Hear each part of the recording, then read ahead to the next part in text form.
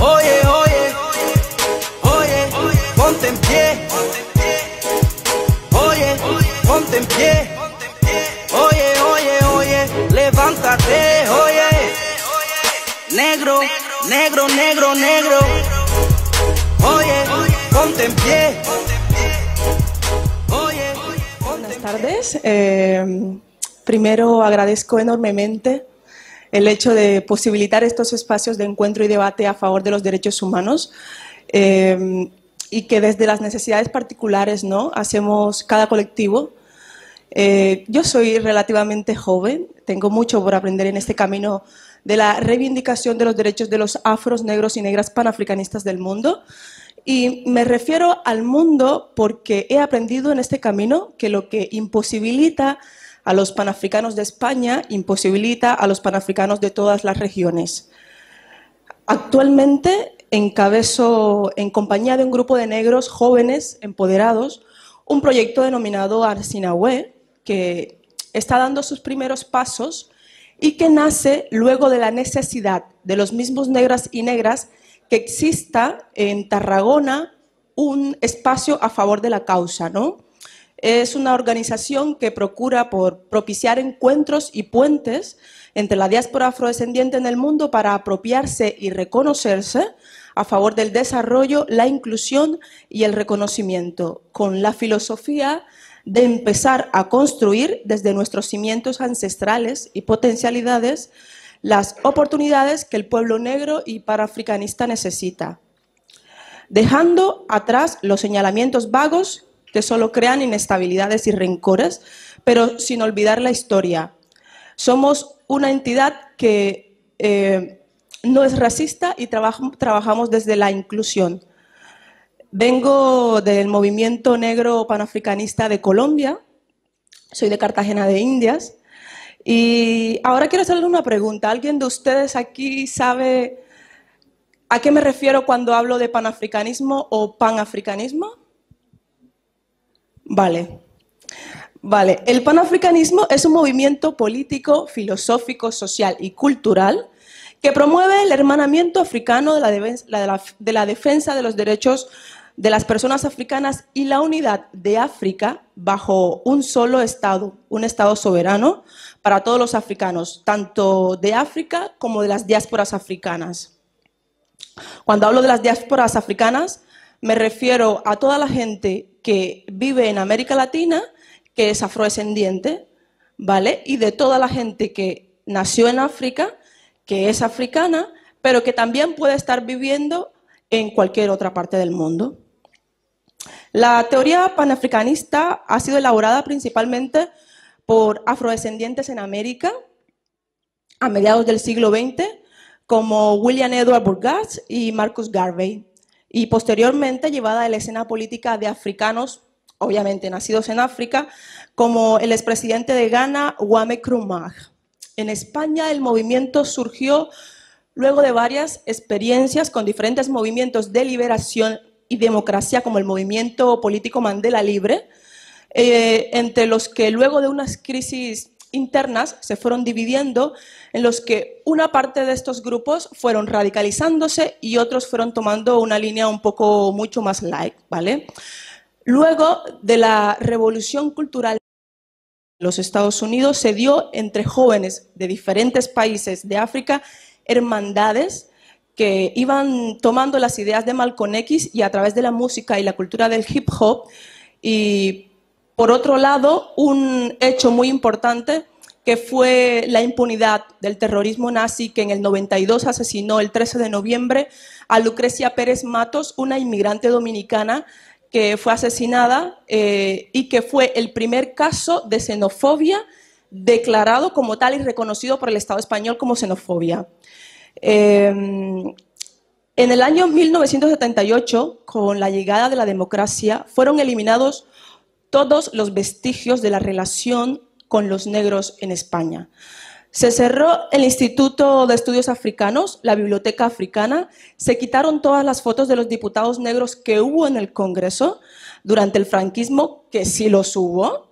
Entre 1948 y 1968 se sentaban diputados que pertenecían a la provincia española de Guinea Ecuatorial. Pocos libros hablan de esa relación ¿no? con África y todo se orientó a mirar a Europa. Cuando hubo una relación intensa y especial con África, aunque fuera a través de la lamentable relación del colonialismo. En una encuesta que fue hecha en la Universidad Complutense, casi el 75% de los estudiantes desconocía que existiera en África un país con el castellano como idioma oficial. Se eliminó toda memoria alegando que su relación la relación de África con España era una relación que hacía alusión al franquismo. Pero lo cierto es que hubo mucho más reconocimiento de los negros y negras durante el franquismo que ahora en la democracia. Necesitamos una relación de igualdad social más allá de la imagen asociada a las pateras. Si se nos reconoce como comunidad, habrá que recibir un trato como tal. Capítulo Cataluña. Un amigo catalán muy cercano me dijo un día en que yo me sentía un poco impotente, ¿no? Por la situación que todavía los negros tenemos en el mundo, donde no podemos acceder a cosas tan básicas como la educación y la salud.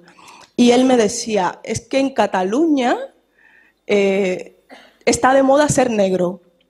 Y yo le decía, a mí no me interesa a los negros panafricanistas no nos interesa estar de moda porque la moda pasa.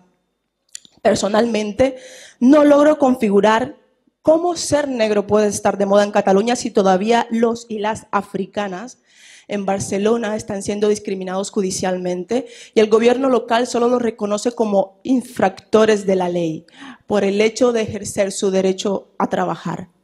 Y hablo del caso específicamente de los trabajadores ambulantes en las calles, de los manteros.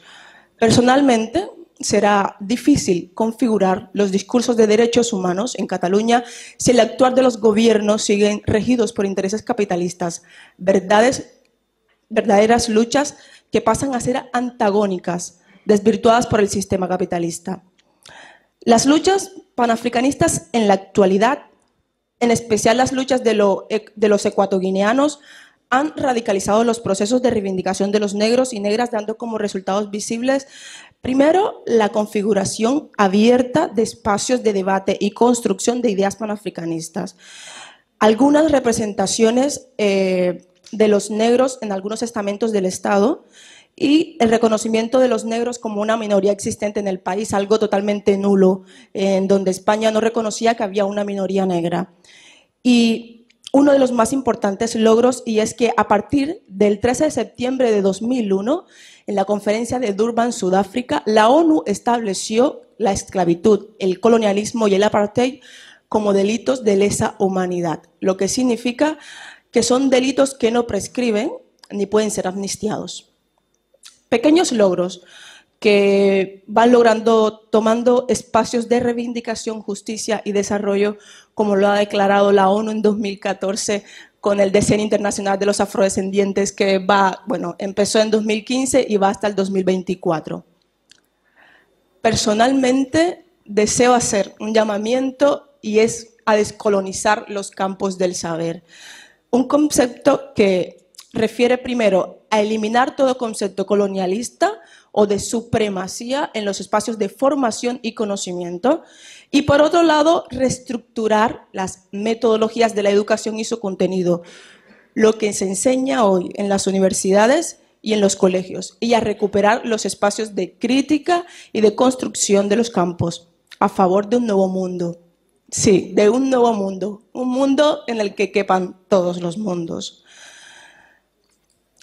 Ahora, eh, Cito a Buin Fubea, director del canal de televisión Jurro África, uno de los fundadores del movimiento Panteras Negras en España, presidente de la Federación Panafricanista de España y docente del máster en Panafricanismo y Black Power de la Universidad Marcus Garvey.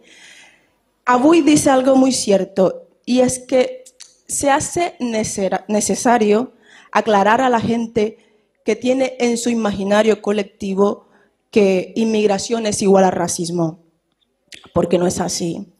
Existen en España muchas comunidades que hoy son víctimas de racismo y no vienen de fuera, como es el caso de la comunidad gitana. Recordemos que según Naciones Unidas, racismo es igual a prejuicio más poder.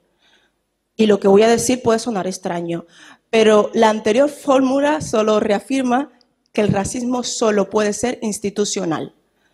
¿Por qué? Bueno, pues porque hay que diferenciar el racismo del desconocimiento de la gente. Pero cuando una vecina, cualquiera, me pregunta por qué hablo tan bien el castellano y le digo que soy de Colombia y me pregunta si en Colombia hay negros, es simplemente por desconocimiento, no por racismo. Pero ojo, la policía que detiene en las calles a un negro sin justificación, lo hace primero por el prejuicio y segundo por el poder, por lo que esa persona representa, por lo que el policía representa. Em, en Cataluña actualmente hay una relación con los negros se ha dado desde la policía, ¿no? Y vemos claramente el caso con los vendedores ambulantes mal llamados manteros. No olvidemos que las relaciones sociales de hoy fueron construidas colonialmente. La relación negro-policía es histórica porque se viene dando desde la época de la esclavitud. Eh, los negros eran perseguidos eh, por patrullas para que no se escaparan de, sus amos, ¿no? Luego de todas estas afirmaciones sobre el colonialismo, el racismo, la esclavización, bueno, miro hacia las élites negras, porque nosotros también tenemos parte de responsabilidad de la situación actual de los negros en el mundo. Todas estas élites negras que han salido del movimiento Black Power en América, en España, y, todas estas personas que se han beneficiado de las luchas civiles que se produjeron, de las luchas de los negros y que se han beneficiado hoy. Esas élites negras también tienen responsabilidad de la actualidad de la diáspora afrodescendiente en el mundo y en cada uno de sus territorios. El compromiso de hoy, para mí personalmente, es unificar las luchas, dejar de establecerlas según los primeros afectados, no los principales afectados, porque todos somos principales afectados cuando se habla de derechos humanos, todos por el simple hecho de ser humano. Un ejemplo de, eso son las luchas de las feministas de hoy, ¿no? Que han pasado de ser feministas a ser feminazis, excluyendo a los hombres, incitando al odio y negando toda participación de cualquier hombre en, las luchas de las feministas. Es que no es posible que yo me pueda negar a luchar por los derechos de los trabajadores si no trabajo. Es imposible a que yo me niegue porque soy humana y hago parte de todo esto. Para finalizar mi intervención, eh, me interesa exponer una opinión muy personal sobre la discriminación positiva, eh, ya que en la actualidad es un tema bastante importante ¿no? que, que la gente tiene muy presente. Personalmente, eh, puedo decir que la discriminación positiva me ha permitido estudiar en la universidad, me ha permitido estudiar, hacer, eh, estudiar con becas y me ha permitido estar hoy aquí. Yo sé que para muchas personas la discriminación positiva no es más que luchar de la misma manera en que eh, se lucha, pero al contrario de, lo que te, te, está pasando, ¿no?